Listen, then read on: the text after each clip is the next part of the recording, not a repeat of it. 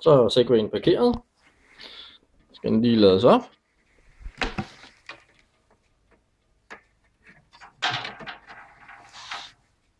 Sådan.